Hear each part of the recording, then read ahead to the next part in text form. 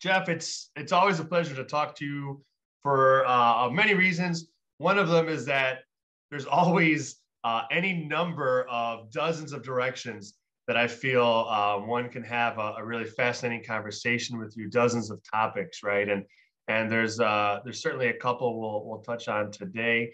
Um, but I do want to at some point dig in just for the the viewers and the listeners to kind of get a um, a heads up.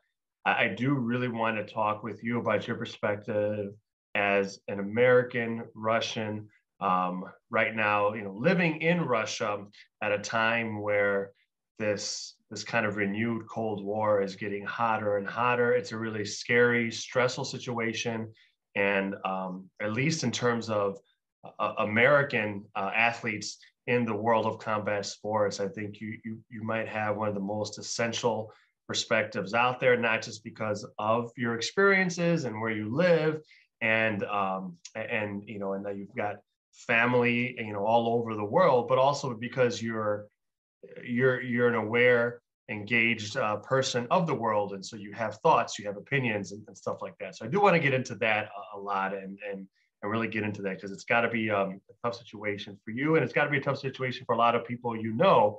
And we'd love to to hear your thoughts on that. I would be remiss, however, if I didn't um, mention the fact that uh, you recently competed uh, again and uh, in, a, in a really uh, exciting fight, did bare knuckle uh, boxing. How did that come about, Jeff? Why did you decide uh, to do it? I thought you were I thought you were you were retiring before, and then you went. I saw like, oh my gosh, he's fighting again. You also specifically gave an opponent that you've beaten in MMA before a chance to compete against you again, which is is is pretty gracious and pretty noteworthy. What how did this come about, and why did you decide to do it?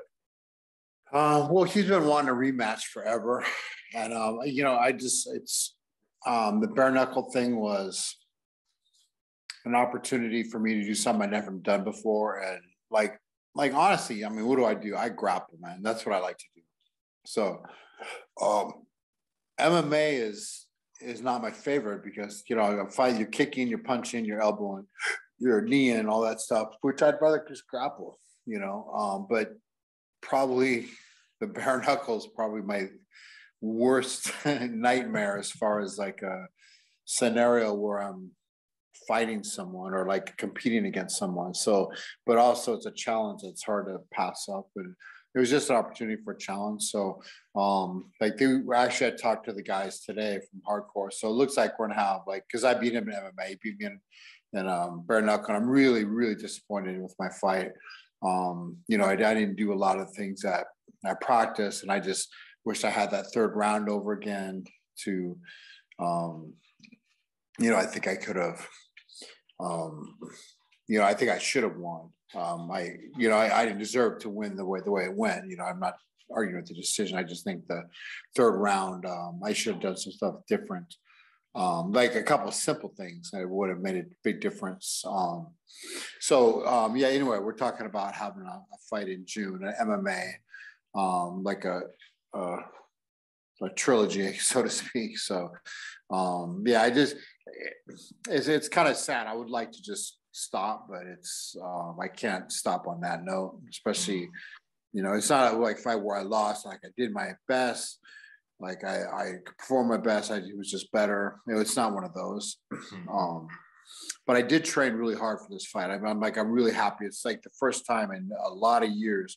I had like a legitimate camp where I trained hard, and and so that was good. But it was also disappointing that the result of the fight, not not the result win or lose, but the result of the action of the fight wasn't what I like had hoped for, you know, or planned for. So.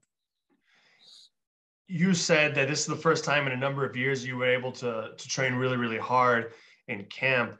Was that because of uh, of injuries and in, in previous ones or, or are there others other reasons yeah i mean a lot of it was travel i mean you know because traveling from the us to russia us to russia my family this and that a lot of it was injuries you had a bunch of a bunch of surgeries um yeah like a ton of a ton of injuries and stuff like that. And that's and that's why I think I put on I think I was on Facebook and I put a big long thing why I was retiring and stuff like that. Um, and then of course I did this fight, but I, the injury, you know, I found it's crazy. I found there's this um, older lady in in the city I live in, and um, her assistant kind of like saw me walking in the mall hobbling, and he's like, "Oh, you have back problems?" I'm like, "Yeah." He's like, "Oh, come, she'll she'll this lady will help you for free." I'm like, "Okay, I have nothing to lose." And man, she's like a, a godsend. I go like every couple weeks, and she just like like I don't even know, like she's a chiropractor hmm. slash orthopedist slash something and she just like it's her whole life. She works like 12 hours a day six days a week literally. And um she just helps people and she helped me out a lot. So um she put me in a position where um I could compete again. So you know I there I am doing it so. You were moving you were moving uh, well uh, on your feet certainly you know different than you know like you talked about hobbling you know we've seen videos yeah. of you in between fights and stuff where because of injuries you're hobbling. Was that uh, you you you're feeling better or can you just like with Mushin just like when you're fighting you turn it on and you can move regardless? Or are, are you walking around without without limping these days? Um, I think it's a little bit of both. Um, yeah, I think like when a fight, you can kind of turn it on, but um, yeah, I'm, I'm definitely getting around better, you know. So um, yeah, I was happy. I was happy that I trained hard for fight. I mean, that was that was half of it, honestly, because you know, and like when you're when you're injured and you're or you're traveling back and forth all the time between the U.S. and Russia, like I was before, and it's just hard to like you just can't mm-hmm. train for a fight like you need to train. You can train, you can work out, and there's a difference between working out every day and training for a fight. And I was working out, but I wasn't training mm-hmm. like I should have been. Like when I was, you know, um, living in Florida with the American Top Team, training for a fight. And so I trained for this fight. And So I was like really happy that I dedicated myself to like the training and stuff. But it was also very hard. I remember why I loved it. And I remember why I hated it at the same time. I could understand. Did you did did you do your whole camp then in uh, in Russia there at home? Yeah, I did my whole camp in Russia. Did you already have coaches that you knew you were going to use for this, or did you have to go out and find people specifically? I knew I knew a coach I was going to use for this, uh, a boxing coach, uh, Dennis. Uh, he lives in Ufa, city I live in. He just he was great. Um, good, good boxer, but he's he was just dedicated. Like he's a friend, and he's just he was just dedicated to the whole you know situation. So that's excellent. Was there any difference that you all took into account and adapted training because it was um, with your with your knuckles exposed, or do you really not overthink it and say, "Hey, we just there's only so much we can do. Let's just train boxing." We just train boxing, mm-hmm. and um, you know, it's nice. We we train boxing, but you know, we did we did rounds boxing, and then we did it without the gloves, but but not sparring without gloves. Um, and it was it was so nice, you know, not having big boxing gloves on. But holy man, I'll tell you what, and I I'm shocked, but there's a big difference, a big difference between fighting MMA with a little tiny four gloves and fighting bare knuckle with no gloves because mm. man, you feel it a lot more. And I, I was shocked. I mean, shocked the difference that the little four the protection, those little four ounce gloves, which I thought they gave no protection, but they they do. Protection so to your head or to your hand? Uh, to your face. Ah, I mean, gotcha. when you get hit, when you get hit by the bare knuckle, wow, it's and you feel it, man. like not just like the cutting, but like your head getting rocked. Yeah, by wow. rocked, by rocked. Yeah. Wow. Wow. Yeah, little yeah, gloves offered some protection. I didn't think they did, but have you? I, I guess I should know this. I feel bad I don't. Have you ever fought what is now called MMA, but without gloves before? Did you ever do like a Vale Tudo fight without gloves? No, no I never have. No. I always had, yeah, I always had a. Uh, you know, I did, I did, I, I did uh some pankration fights without ah. gloves, but but but it wasn't. You had you couldn't.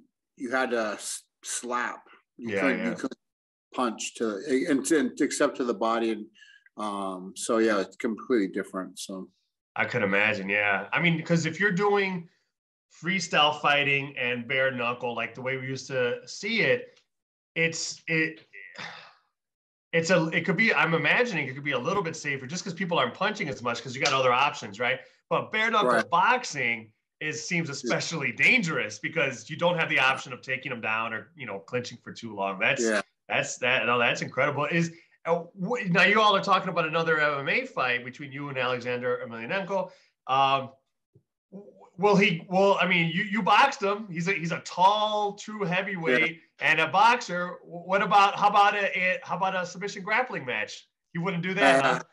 He won't agree to that. But I, I'm, I'm, I'm okay with MMA because I'm not gonna I'm gonna be standing up for very long. fair enough. Fair enough. No, that's good. I hope I hope that goes through. That would be that would be excellent to, to watch.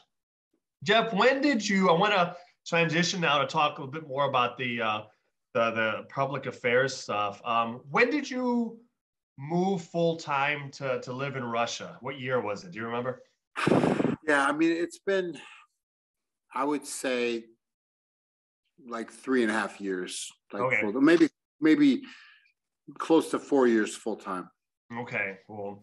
And when when you moved there, and when you moved to where you are now, when you you know went there full time how aware were you of of um of, I mean, shoot, it's tough. It's always so interesting to where we start the clock with, with this, right? We can go back to 1917 or when the U.S. invaded yeah. Russia secretly during World War One. We can go to uh, we can go to uh, when Truman, President Truman, took over and went back on FDR's promises to to Stalin. We can go to um, when they created uh, NATO and didn't want to admit uh, Russia, but admitted Germany in like 1955. We can go back to the early 90s when they had another big expansion of NATO and putting weapons on Russia's border.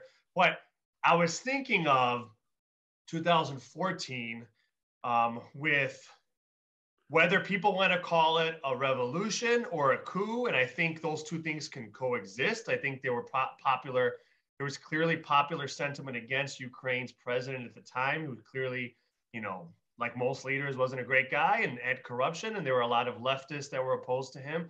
What we know for a fact, and it's documented, the United States, even though there was popular revolutionary sentiment, the United States went in and armed militia groups, specifically literal Nazi groups, um, and, uh, and, and continues to give money to them and uh, on the record w- went in and uh, even contrary to like European Union's wishes, really had a hand in choosing who the next government would be. So, like a lot of revolutions, if people want to call it a revolution, it, it definitely had elements of, uh, of a coup. How aware were you of those events of 2014? Anyway, you want to characterize them, right? Like people can yeah. can have can characterize it whatever way they want. I'm not trying to dictate that. But how aware were you of that specifically? Of at that point, Ukraine, the, the government that was overturned, um, they reportedly wanted to have a balance between, hey, we want to do business with Russia. We have a lot of uh, uh, ethnic Russian people here. Yeah. We do a lot of trade with Russia, and we want to do business with Europe. Of course, you know we want to. We just want to be neutral, and they specifically didn't want to join NATO like the United States and had wanted them to for a while. Um, uh, then they, because of that, a lot of people say, a lot of experts argue um, that government was was uh, was helped along out. Uh, how aware were you of that situation when you moved to Russia with the tensions between uh, Ukraine and Russia? Of course, um, you know even before that too, we we had um, um, Russian troops that had a lease uh, in a naval base in Crimea, then ended up um, also um, you know uh, taking Crimea uh, for Russia. How aware were you of all this, these types of things uh, when you moved? Were very much so, or not really? Um, yeah, I was very aware of it when I when I moved to Russia, and in fact, um, in 2016, um, two two years after the coup, and it, it, was a revolution and a coup. I agree with you completely. It was um, uh Victor the the president he was terrible like uh he was corrupt he was like not a good leader he was you know in bed with with Russia and um wasn't looking out for the people I mean they're having people were hungry in this and he was like he was stealing from them he was a terrible guy um but oh he was still cool and like you said the the CIA had a hand in it they armed um, right wing, far right wing, not literally Nazi groups, not neo Nazi, but like Nazi groups um, that that uh, took over um, and and in, in ignited this this revolution, if you want to call it a coup. Um, so I was very aware of it. But in 2016, I, I started actually going to the former eastern part of Ukraine in Lugansk and Donetsk, the two republics that declared independence. Um, I was invited by them to meet the people and talk to the people and and get a, a clear understanding of what was going on. And man, it, it opened my eyes because um, for for eight years, you know, uh, since 2014, and I've been I've been knowledgeable of the situation intimately for six years. And during these last six years, I've gone probably almost a dozen times to Lugansk and Donetsk. Um, and so, and actually, I'm um, me and my my buddy are doing a documentary, and we we filmed um, two different times, two a couple different week spans. We were there filming, um, interviewing people, you know, like uh, like showing the damage, showing like you know what really happened, the people's take on it, and not a not a like a military. This is what happened with war, like, but a documentary on hey, look at the people here. This is like that people being affected by this war, and that's what's going on. So, anyway, not uh, get to your question. Yeah, I've known about it for a long time, um, and I got to know a lot of the people there. Actually, one of my one of my friends just got killed two days ago. Um, he was uh, he's in the army of, of Donetsk, and he was it was during a ceasefire, and he was excavating, you know, free people in a corridor, a safety corridor, and some snipers just like opened fire on him, and some of the civilians killed uh, five civilians and him.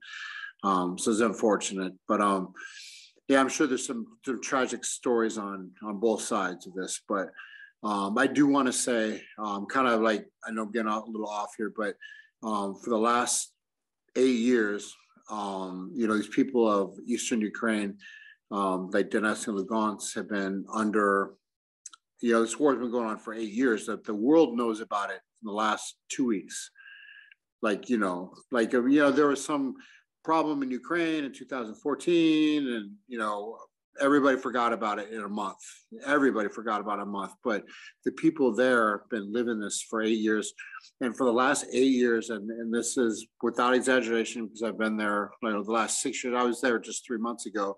Um, these people have been um, getting mortared, getting bombed, getting shot, killed um, by the Ukrainian army and and they're targeting civilians. They're targeting the hospitals, the schools, the apartment complexes, um, the mall, the city centers, um, where there's no military. They blew up the airport, but there's no military at all. They're just randomly shooting every day for eight years, like uh, on Christmas Day, on New Year's Day. It doesn't matter. Like just like clockwork.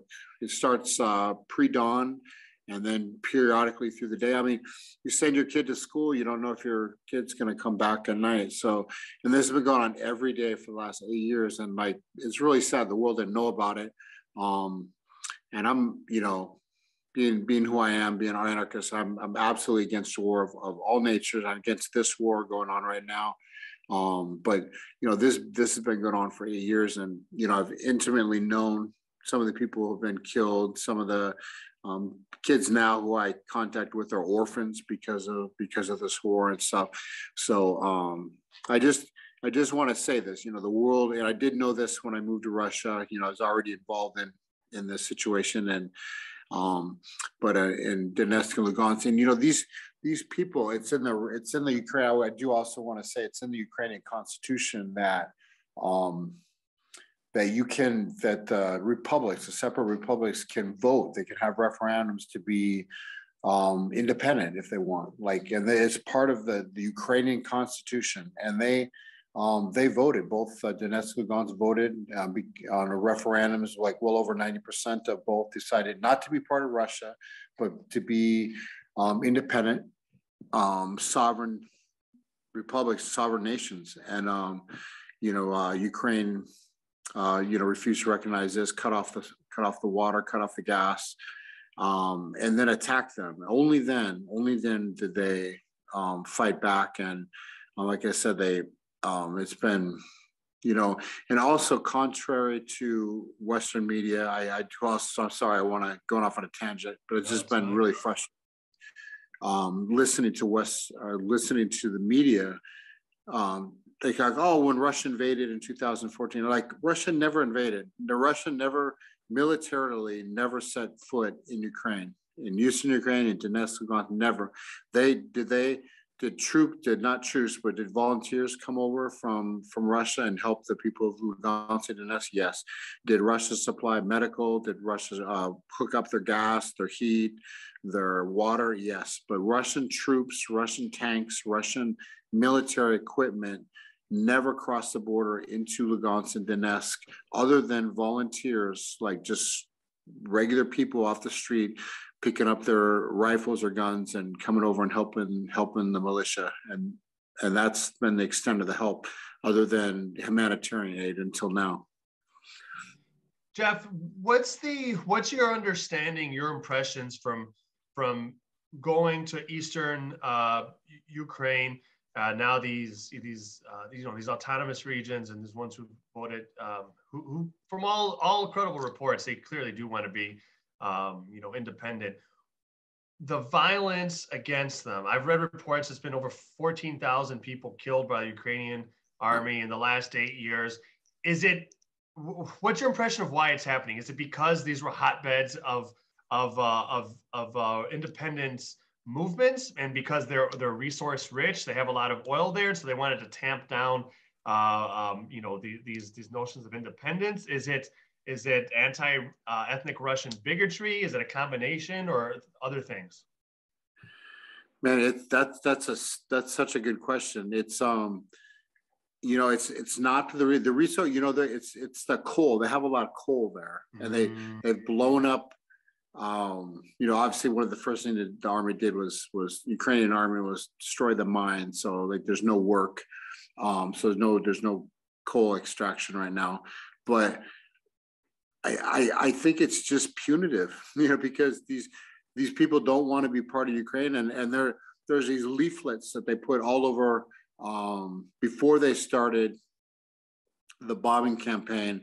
Uh, they shut off the gas and they shut off the water and stuff, and then so they get people like hungry and I mean cold and had no water, and they put up leaflets all over like and like just saying if you want to be part of uh, if you want to eat or you want to be like don't freeze to death and have like drink like you better like rejoin your brothers in ukraine you know like just like crazy stuff like like propaganda posters and stuff. And then they you know i, I was uh, when i was there not last time but the time before you know i went to the city center and there's this it's just such an iconic uh, photo it's like I, I posted this photo they they left this it's like a missile shot by the Ukrainian army, and it landed in the city center, like right in the, the middle of like where the mall is and the and the post office and all this stuff. And it doesn't blow up. It doesn't it doesn't explode. It's a it's like a, it looks like a you know a long missile, probably like 10 feet long.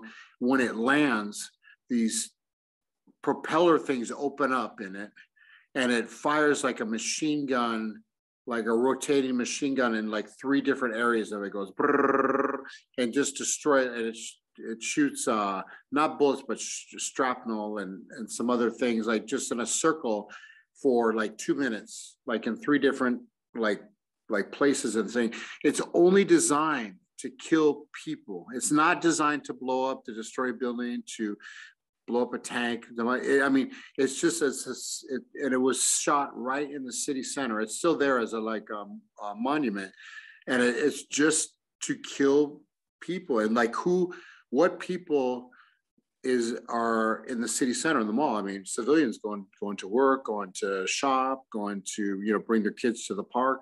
That's exactly where we're shot. I mean, it's just, but that's that's the you know I, I visited you know twice an orphanage where you know parents and stuff have lost their life. And these aren't like uh, our veterans of war or, or like uh, soldiers you know these are just like people oh and, and i was oh two o'clock in the morning a bomb hit our house. Everybody was killed except for you know this kid.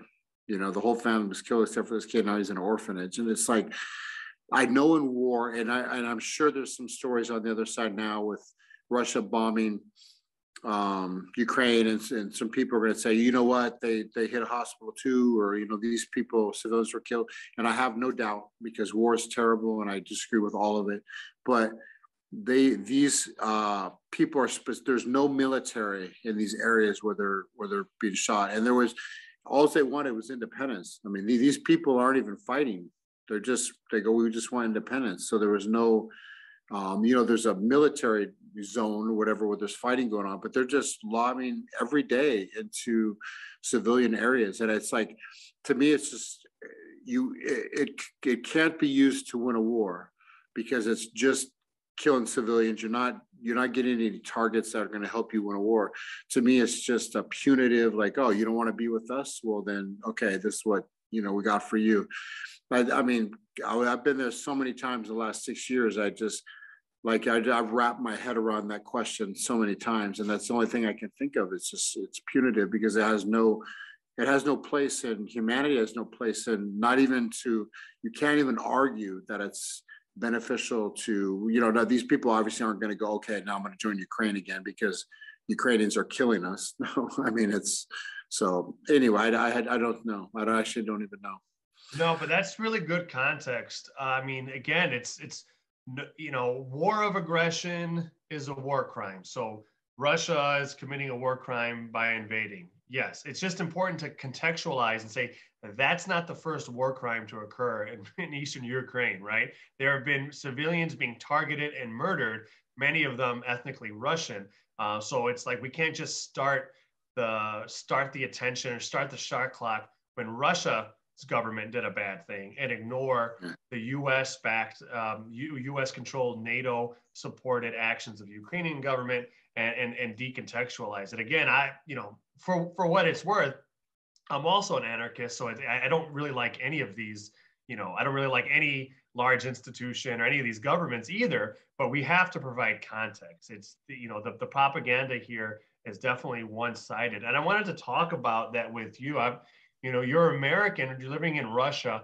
how much how much um, i want to talk about you know the, the russian propaganda too but first how much uh, exposure do you have how much access do you have to american propaganda whether it's social mm. media whether it's our news whatever like how much how much do you feel you you know talking with your friends in america and seeing what you're seeing do you feel like you're getting a sense of of what the messaging and the propaganda is here in the united states Oh, absolutely. I see it every day, but not only through friends and, um, you know, I have access to the watching the media there and, and stuff like that. It's just, it's mind boggling because it's just, it's so one sided and it's so like, it's just, some things are just absolutely not true and some things are just completely ignored, you know? Mm. Um, and I have to say like context is a, is a, is a good word. I, I do, I agree with, um, this war right now, like with Russia inside Ukraine? Actually, no, I do not. However, like what it, so I want to make that clear. I do not, because I'm not justifying it. I'm not like apologist for it.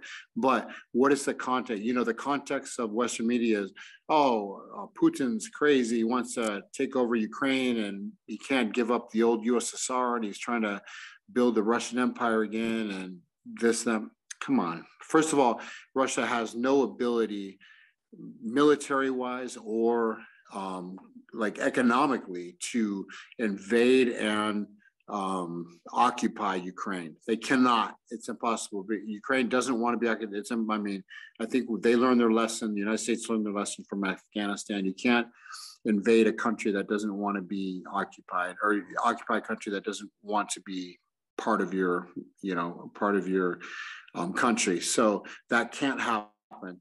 But what why why why did russia invade? You know for the last since uh, for 15 years uh, vladimir putin's been warning the united states warning nato saying hey look you can't have ukraine as part of nato. You cannot um, in 1990 you know george bush the first made a promise like very famous not one inch more not one inch more if germany was allowed to become when it unified was to become part of the West, um, part of NATO. Um, uh, Russia would take all of its troops out of East Germany, and uh, Russia would allow um, uh, Germany to be part of NATO, part of the West, but there would be no more NATO countries added. Since then, since that promise, 14 countries have been added, including former republics of Lithuania, Estonia, um, you know, uh, promises to Georgia, promises to um, um, uh, uh, Ukraine.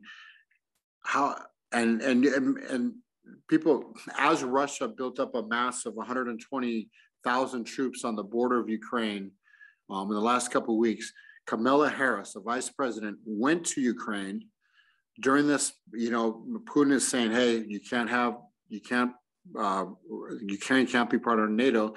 Kamala Harris, in a, in a public speech in front of like uh, in front of the government of and, and Zelensky and part of the uh, and the government of Ukraine said, we welcome you to NATO. We, we can't wait for you to be part of NATO. We're looking forward to it. This is like a, it'll be a great day for Ukraine, a great day for the United States and NATO.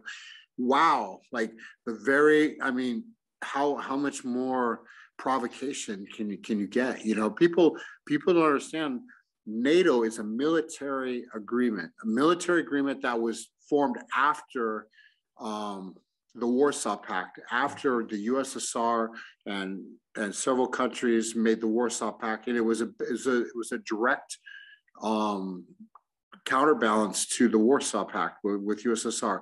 Well, when, when, there's no more USSR, there's no more Warsaw countries, um, there's no more like conflict, you know, threat of Russia invading Europe or anything like that.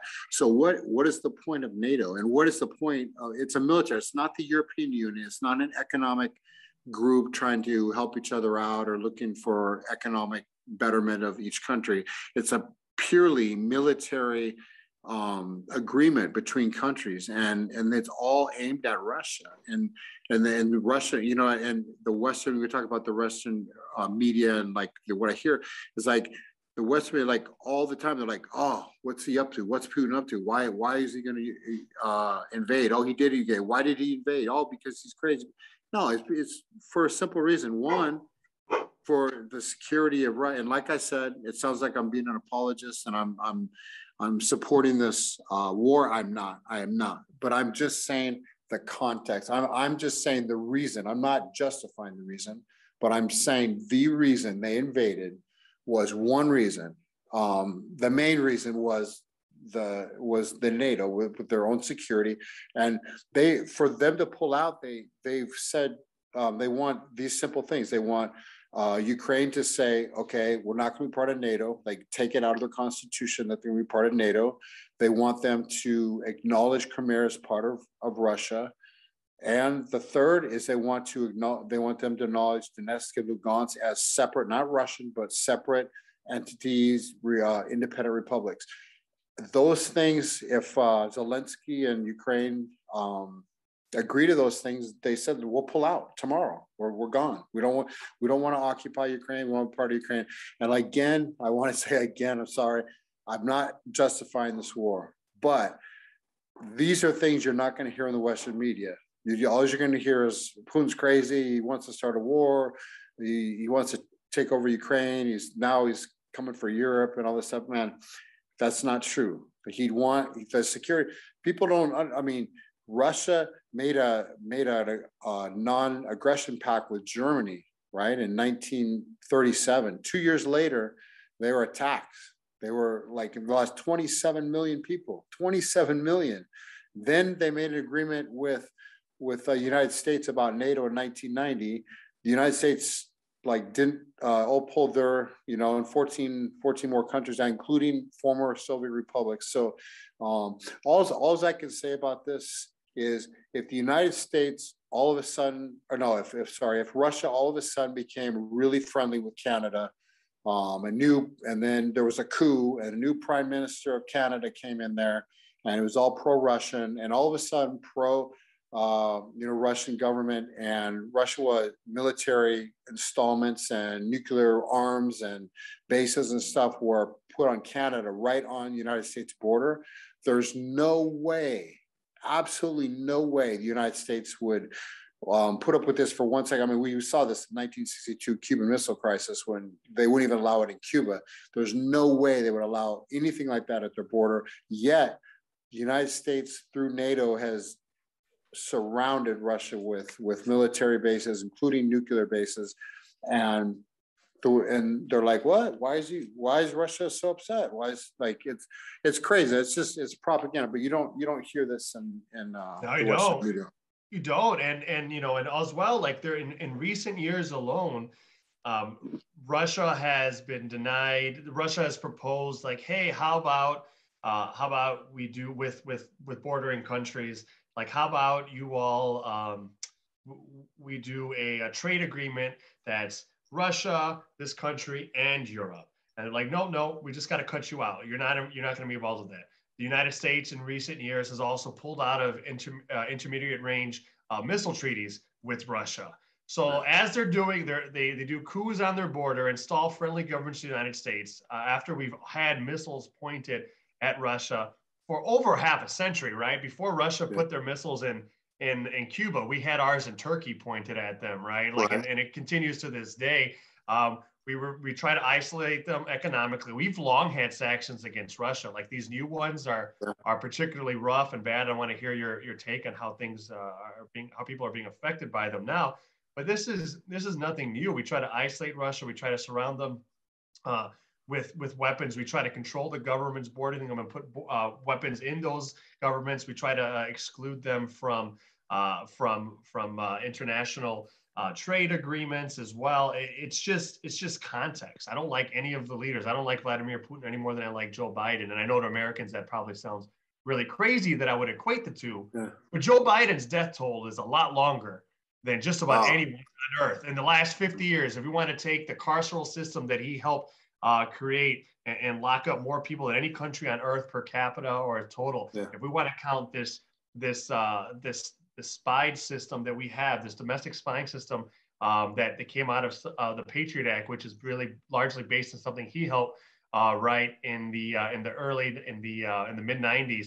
We want to take all that into account, and and the wars he supported, which have killed uh, just you know, just one example, the Iraq War, which he really got on this and stumped hard for. It's killed over a million people. Like Americans, uh, as as a government, uh, have way more blood on our hands than any other place, and we have we are certainly the aggressor. Um, if we look at full full context, and and the propaganda here is crazy. I was just at the the gym, uh, the, our gym, uh, Jeff. We are in uh, inner city Chicago, in the near southwest side in uh, the Pilsen neighborhood, and I was there. I was there, there every day, but yesterday I was driving and I noticed a an area where they they put ads for um, like movies or albums. Totally, you know, ad space area. It's not like a it's not a place where people put their punk rock band stickers up for shows. It's it's it's sold, you know, ad space. They put up movies and stuff. I saw professionally done um, uh, uh, ads there for it said support Ukraine and it said um, no fly zone over Ukraine. There's a big movement oh here in Chicago professionally say try to uh, manufacture consent for specifically no fly zone over Ukraine. And for a little bit of context, I'm certainly not a military expert. For our readers, uh, our, our readers, our viewers, our listeners, um, whatever who, whoever you side with, whether it's a government or people or whatever the case may be, a no enforcing a no fly zone means conventional and direct, uh, or at least conventional. It could escalate to nuclear, but it means direct military engagement between the United States and Russia. It means direct war, yeah. hot war between them. So w- whatever we think about it, that means an escalation in the war. It means direct involvement uh, militarily of the United States and our troops and Russia and, and their troops. And, and that's being pushed down. It's being it's being a no-fly zone, which is definitionally an escalation of of, uh, of uh, uh, and an increase in the temperature of direct warfare is being posited and positioned as a peace movement. And yeah. I feel, and I feel that's really, I don't know, I have, I'm speaking out of term, but I feel that it's really anti-Ukrainian because while Russia does not have the capability, I think you're right, to even occupy Ukraine long term, and certainly not to invade all of Europe or to, you know, invade no. the United States or whatever. Ukraine can't beat Russia's military. So we can no. arm them and we can hand out weapons. Zelensky, President Zelensky can hand out uh, rifles to babies all he wants. But the reality is, they're just going to be cannon fodder.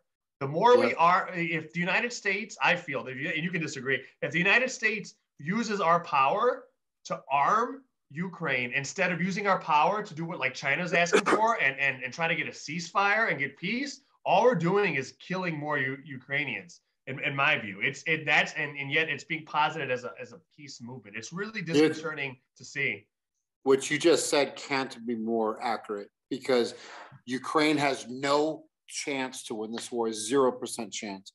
Uh, like I said, they they could if if Russia changed its policy and decided to try to occupy, which they won't. Um, that's not even their stated goal. But um, by just defeating Ukraine. Ukraine can't win this war. So the longer it goes on, the more people are going to die, the more civilians are going to die. So as the United States, which they are now, um, arming, continue to arm Ukraine, and Zelensky keeps this war progressing, um, more and more people are going to lose their lives needlessly, needlessly, because there's no, there's no, there's no end game to this war that's not going to end um, unless there, it turns into something bigger with NATO, US involved. But with just Ukraine and Russia, Russia's going to win the war. And when they do, um, if they keep the agreement that they said, like, look, Ukraine be just don't join NATO. You can keep your government. You can keep your sovereignty. Um, and we're gonna we're gonna we're leaving. Um, but you got to recognize Crimea and the and the two independent republics. That's what that's all they want, right? Um, anything anything in the meantime, it's just more lost lives until that happens. So um, by United States is, I mean, maybe I'll get in trouble for Russia for saying this for people, but um, Ukraine's like they got put in the middle of this bad situation because NATO and the United States like basically left them out to dry. And but they knew they couldn't come to support. Otherwise, you're gonna you got no fly zone being um, put in. You're talking about World War Three. That's what's happened because the Russia cannot back out at this point. Russia, at this point, they've stated their goals. They've used their military force. They've, you know, um, Vladimir Putin's reputation as as the president of, of Russia, and everything's on the line. There's no way without some kind of um, deal that that like what I said, like the, the three things, the three points that he says, without something like that, um, there, there's going to be no end to this. So um, for the United States to keep giving weapons to Ukraine and um, keep telling Zelensky to not give up and stuff, like not give up what? Not give up you like you're just losing more and more people and it's a war. And as much as russia says and i do hope i, I believe this and I, I hope it's true that they're not you know targeting they're only targeting military um, installations and stuff like that. People are dying. I know a hospital got hit. I know apartment buildings are getting hit. I know civilians are dying. Um, and I, I this is going to happen during a war. And so um, until this Zelensky decides he's had enough. And, um, you know, if the United States was actually supporting the people, if they cared about the people of Ukraine, they, they would say, you know what, enough's enough. Um, let's, let's negotiate a peace deal, you know, keep your government there, keep your, keep your, the autonomy of, of, um, of uh, Ukraine, and let's just end this and, and make the, as, as good of peace deal as we can. But you know that they're not interested in that at this point. What's we talked now a bit as as americans about about american propaganda. What what are you seeing out there? Like what's uh what's the russian line? What's the russia propaganda like as far as you can see? I see that there's a lot of demonstrations a lot of anti-war demonstrations in the streets of different cities of russia. Uh, i'm sure I'm sure there's an official line or two out there. What what do you see out there that's that's official narratives or official lines um, that uh, that you would call propaganda coming from uh, the Russian uh, government and or you know the corporate media?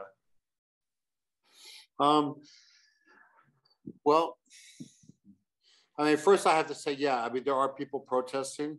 Um, it's not, you know, in the Western media, they're, they're showing people protesting in the streets and stuff.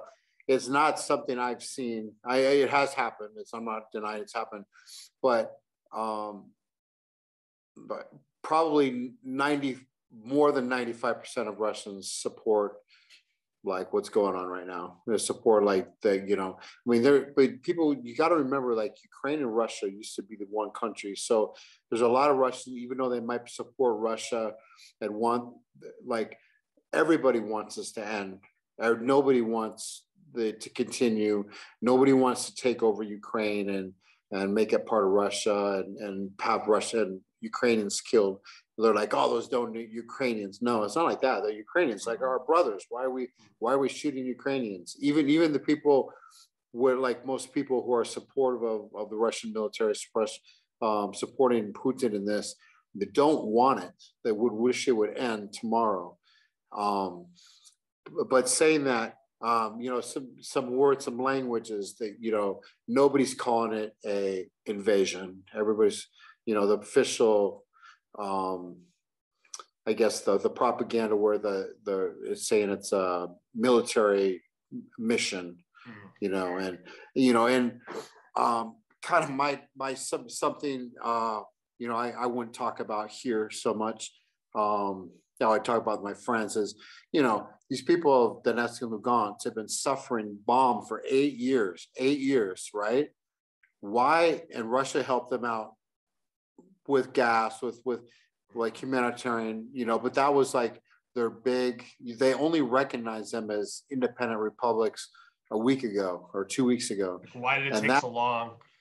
Yeah, why? Why? If you if that's the reason, that that's one of the declared reasons for the, the invasion, and you can't you're not you can't call it invasion here, but that's what it was, invasion, and that was that's well, why did why did you wait eight years to do it? That wasn't, that's not the real reason, you know, like they, um, this, people have been suffering for eight years. So, you know, the real reason, um, I mean, it's, it's plain and simple is, you know, they, they just got, they just can't have Ukraine being part of NATO and then they need that buffer and they just demand that Ukraine be um, at least neutral, you know, not, not part of Russia, not part of NATO, but just its own independent sovereign country with, um, militarily neutral. So, mm-hmm. no, thank you. That's that's that's. Uh, I appreciate that. I I was, you know, this is. Uh, I, I was curious about a, a, few different things. I wanted to talk about different restrictions going on um, imposed by the United States, imposed by Russia. Um, first off, there's there's set whole new set of like of of sanctions put on Russia by the United States are are you all in Russia, people around you, or anyone you're hearing from? Are you all feeling any effect of of these yet, or is there a fear of um, uh, of the effect, possible effect of these types of sanctions or banning, you know, Russian uh, oil and, and stuff like that? Um, yeah, I mean, people are afraid. I'm I'm afraid. people people are afraid. Um, so, like, what uh, just in general, it has affected some people um, the what, what I'm seeing just here in this city, like how it's affected me individually, um, or just the group of people that I that I see every day is that you know like I see long lines at the bank, people withdrawing their money. That's true. I see people at ATMs like getting their money out. That's true. I see the ruble. You know when I when I first started coming to Russia like long ago in 2011, uh, the ruble was like 32 rubles to a dollar um, and then, you know, with sanctions and this and that, it was like 75 rubles for a dollar for, for many years about that. Now it's about 145 rubles to a dollar just in the last like week and a half because these sanctions. So, um, you know, and money's worth a lot, like half as much as it was, you know, a week and a half ago. So that, that's really, that's terrible. so, um, anyway, like I can't, I can't send Western Union. I can't, uh, um, send by bank, you know, uh, money money back to the United States for my kids, anything like that. So that's affected me directly. Um, and even if I could, like to exchange the ruble to the dollar to have it sent, it would be worth half as much as it was, you know, a week ago or two, a week and a half ago. So that would it would be terrible even if even if I could, which I can't. So and then of course all the flights. I, I was actually going to be. I was supposed to be in the U.S. Uh, two days ago, um, but all the flights you know got canceled like a you know a week or so ago. So it's like I mean, in order to go to the U.S., I have to go to Italy, and then from Italy, like buy a different ticket to go to the U.S. or go to Turkey and then buy a different ticket from Turkey. There's no like connection from here to Turkey to US, but I'd have to make two separate days. So the cost obviously is exorbitant, you know, exorbitant to try to get back and forth to the US and, and there. So um, these are the issues. I mean, then of course, uh, my Facebook's been, you know, Facebook shut down. I heard Instagram's being shut down as of like now, as of midnight tonight. So I think there's no more Instagram. Um, if WhatsApp, I heard that's next on the chopping block. If that gets blocked, then you know that's I don't know. I think using Viber or something like that. But it's like it's going to be hard to like all my connections to people in the U.S. My family stuff's going to be blocked. Um, and this is just this my issues. Of course, people are having much more issues than this. You know, especially the econ- economy. Um, the economy, yeah, if they block the with with if they really uh, go through with the oil um, embargo, it's going to be it's going to be a struggle because uh, Russia really depends on that. So, um, yeah, nobody. I mean, I number one for the humanitarian reason. Number two, like I don't like the war, but also for like just my my own, you know, getting my relationships in the United States, my family and stuff like that. It's is being like hurt hurt badly because of this. So um, I I really you know looking forward to the end of this conflict Of course, yeah, no, and like, and it's good of you to have perspective and say, hey, there's people, of course, suffering more. But I mean, this is this is real. Like, you're a working man, and you you know you work you work for a living, and you've got you're in an interesting position, like many other people in the world, where you've got family where you live, and you've got family in another country, and issues of communication of remittance, sending back money. I'm sure you yeah. you provide support for your your, yeah. your child in America. Like yeah. these are these are practical things of like, wait, wait, how do I help my family? How do I stay in touch with my family? How do I like this is um, other than God forbid people that people that are uh, um, you know uh, being killed.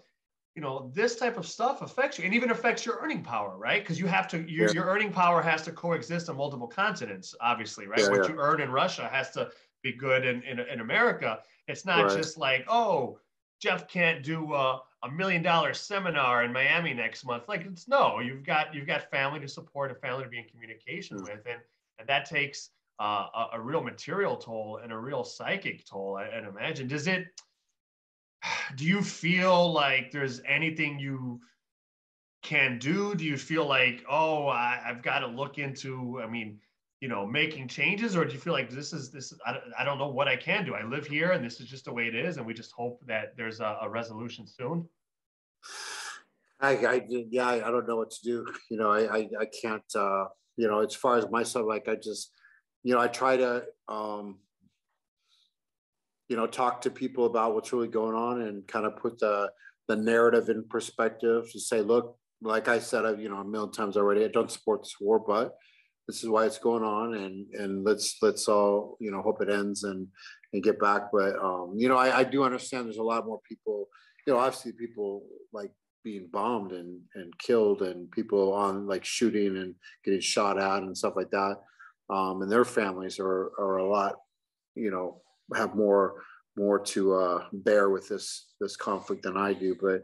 it is affecting a lot of people. And and Russia, I mean, there's there's poor. I mean, just to give you an idea, I was at the mall tonight with my daughter, and I'd never been to this mall before. Um, in this, I'm, I'm in a I'm in a city called Ufa, which is kind of at the base of the Ural Mountains. Um, but there's like a billion, three million, three hundred thousand people here, so it's it's a big city. Um, but I was in a mall today, and I went. Um, I, I usually don't go to these places so much because it's like photos, photos, photos. But we went down um, you know, went down the first floor and it's like a market where they sell, um, you know, people are bringing in nuts and fruit and meat and stuff to sell. And man, I just got a real, it reminded me of when I was in like uh, Philippines or Nicaragua or something like, uh, like the poverty, man. Like I just like um not that acute so much as that, but it reminded me a lot of it where people are just living day to day, like trying to sell enough to get by today. Sell like get have enough to eat today, pay pay the rent today, and uh, you know the the people really it really made me sad like to see it. I hadn't I hadn't been exposed to it so much, and where you know I, I've seen some I'm just used to the the standard of living being much, much, much less here than the US, much less. My, I mean, I'm living, I'm in an apartment. I don't have a car. Uh, you know, I don't, I don't have a lot of stuff here. Like, um, so, you know, it's, it's my, my standard living is much lower. And, but people, but it's, it's probably high. It's, it is higher than most people here. But, um, people are starting here and I really got to see the poverty. And I just think, it just made me think of you know what's going to happen in the upcoming weeks and months um, as this um, conflict you know continues on and hopefully ends soon. But um, I just you know people are I don't know people I I just a lot of a lot of more like middle class or like people working in the U.S. just have no idea like how and um, you know and I just one word on the sanctions. The sanctions aren't don't hurt I mean, do you think Vladimir Putin is being hurt person? Do you think he eats less or has has to or or any people in governments have or any oligarchs like or have are struggling in any way on a day-to-day scale because they sanction no it's hurting ordinary people and ordinary people aren't i mean the us should know this by now they sanction sanction sanction the ordinary people don't turn against the government they turn it makes them because the government you know, it's pro- whether it's propaganda or whatever, they're saying the United States is doing this to us. So when they when they say they're doing this to us, the the people, you know, listen. It's in the news, it's in the media, it's in you know conversation. They're not going to go, oh, I'm going to blame Vladimir Putin because of this. No, they're going to blame the U.S. Vladimir Putin isn't making sanctions on us. It's the United States. It's it's the West doing this to us. It's Europe doing this. Um, so they're not going to like turn. So I, I so I I never understood the sanctions thing, you know. Um, and and and one other highlight, you know, the United States just pulled. The United States shouldn't be talking at all about invasions and all this stuff. And two rights don't make a wrong, but they just they killed like over a million people in Iraq. They uh, invasion of Afghanistan, invasion and occupation for 20 years, and then they pull out.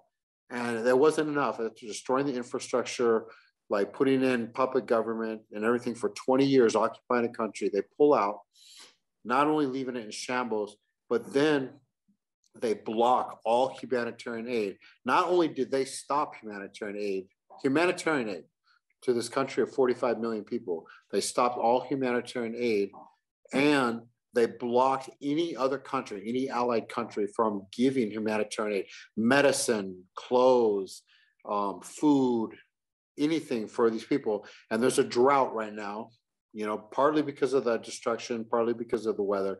There's a drought right now and a famine. And out of 45 million people, they're saying 23 million are at risk for starvation.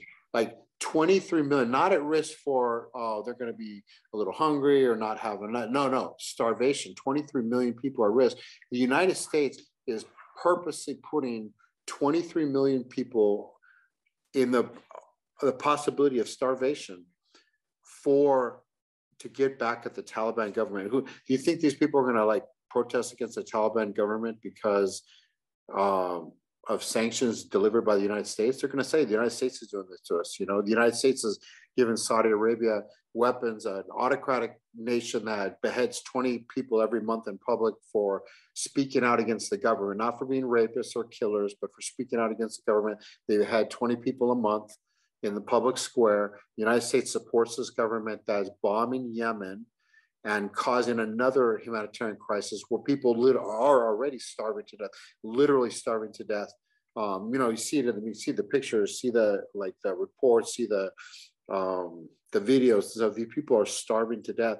The United States, like, is allowing this kind of humanitarian disasters to happen, and it's just really it's really frustrating. Like all of a sudden, they care about the people of Ukraine. They don't care about the people of Ukraine.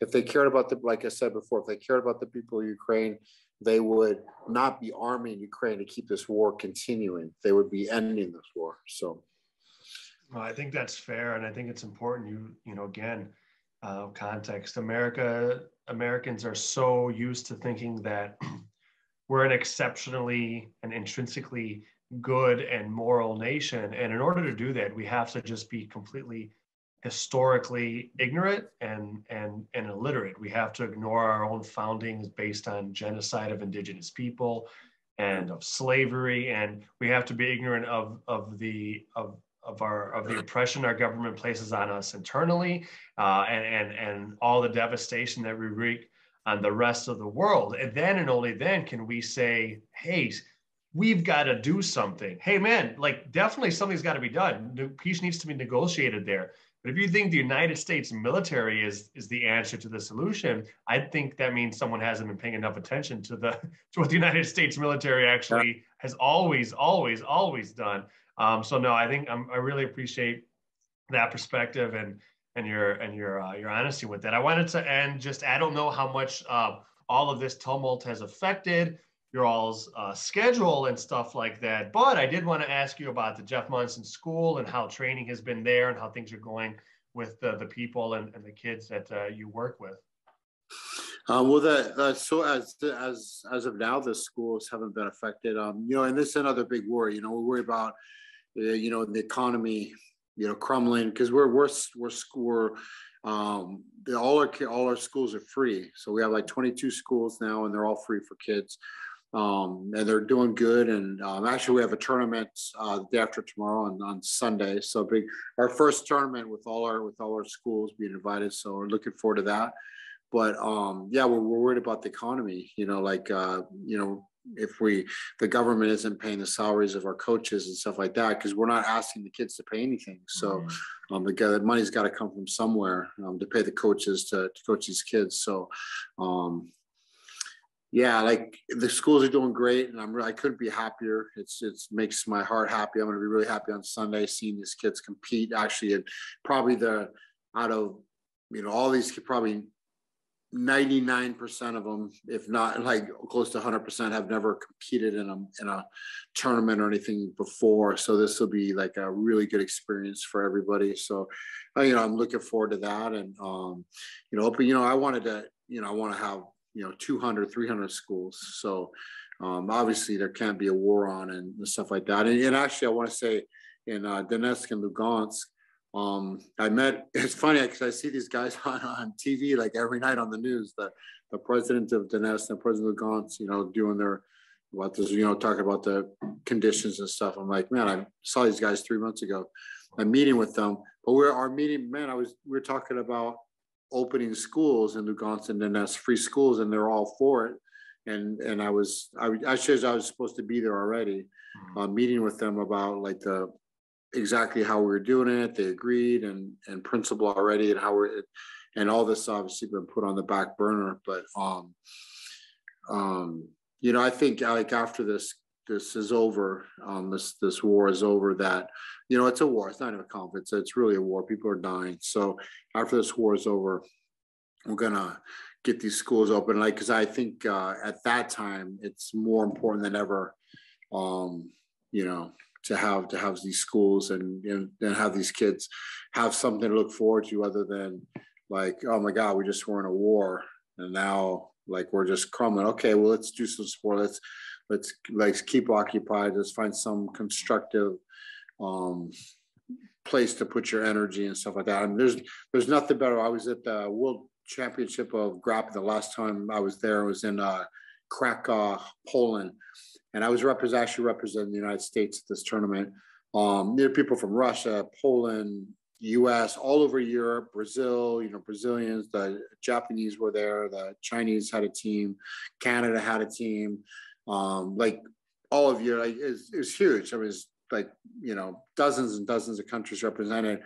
And man you know everybody wanted to win. You want to win you were the champion of the world. But man at the end of the tournament when i was in the finals man i saw a huge change. It was like everybody helping one another, everybody supporting one another, people from different Greece, a guy from Greece like showing me, hey, okay, like look at the, you know, I, I, saw in the match you did this, but did you try this and stuff like that? And people helping each other, people cheering, man, and the, the cheering in the stands and stuff was like phenomenal. And um, like just everybody helping and cheering and clapping and and trading trading their team uniforms for different countries and stuff like that. And it was like honestly, like out of my sports experiences, it's it might be the most uh it was one of the most emotional, great moments of my life, sports wise, for sure. To see this, like, and the next day they had a um, a big uh, tour that we all went together, and it was. I mean, it took another emotional twist because we went to uh, Auschwitz and visited there. And but imagine all these guys that trying to beat each other up and win this championship. The next day, we're all in tears, you know, walking through Auschwitz and stuff. But um, it was like we do this together, man. And there was like the language barriers, all this stuff were just like forgotten. There was no politics. I guess that's the point I'm trying. There's no politics. They're like sport brought us all together and and unified us all from different countries, different cultures, different backgrounds, different. We all had the same job. We all wanted to win, but we cared about each other even more than more than we wanted to win. And that was like the beauty of, um, you know, you're in jiu-jitsu, you know this. So this was like such a a great a great moment and i, I want to leave this on this good moment you know of all this war and all this bad stuff but um you know you asked about sport and like I, I still that's when I when I see these kids and we go to this tournament on Sunday and and these young kids, we want to teach them, you know, people who are sportsmen and who grow up in sports and learn cooperation and friendship and and doing your best and trying your best and working hard and achieving goals, but also helping others along the way and being helped by others along the way and learning this. Um, it seems like that's a good way to, you know, that if we were all that way in society, that uh, we wouldn't have these, wouldn't be having wars and these kind of conflicts and stuff like that. So that's my, you know, I try to, I want to, you know, ask about the schools that it's not just you're teaching sport, not just you're teaching jujitsu. You're teaching, you're teaching like humanity, humanity. You're teaching love and respect and discipline and hard work and caring for other other people and stuff like that. So, um, you know, that's that's why it gives me such pleasure to do this. Not just like, oh, we're going to win. It's like, and I don't care who wins this tournament on Sunday because they're all my students. I just want I just want the best for everyone. You know. That's beautiful, and uh, we'll we'll uh, stop the recording here in a moment, and I'll ask you to just stay for a moment after we stop the recording to cut out. But uh, really appreciate your your time and your generosity. It's it's extremely Uh, uh, either late in the day or early in the morning where you are. Yet you you took the time to uh, uh, and shortly after a fight and right before you have you know your tournament for your your kids took the time to discuss a lot of a lot of really important stuff. So I really appreciate your time, Jeff. Thank you so much.